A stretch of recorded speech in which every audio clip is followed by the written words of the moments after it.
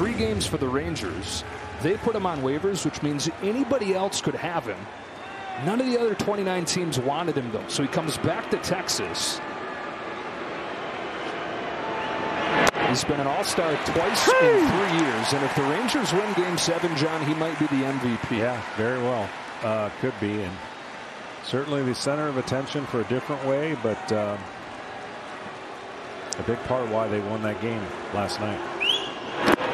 Two balls and two strikes on him. You can make the argument that that grand slam obviously broke the game open. It was a two-run lead at the time. So many contributing factors could have still played into that game, and it was all over in one swing of the bat. And we'll be talking about it as this game goes on if it's tight because it meant they got to get Leclerc out, have him pitch this one inning instead of two.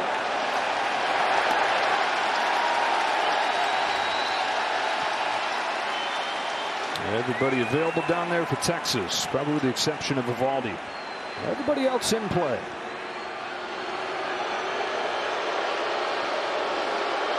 This tied Nelson Cruz for the most RBIs in one postseason. Last of the back-to-back -back pennants for Texas. Garcia starts the third and drives one the other way down the line. He's got another. He does. Adolis Garcia owning October.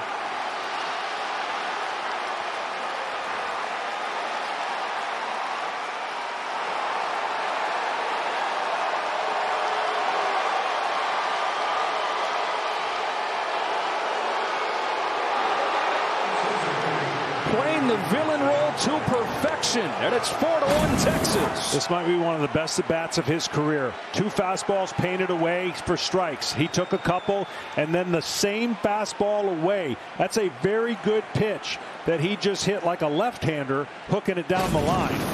I mean, that we didn't see any of that yesterday. We saw a guy swinging as hard as he could, and so far tonight, we've seen a much different Texas lineup disciplined and short to the ball. That's why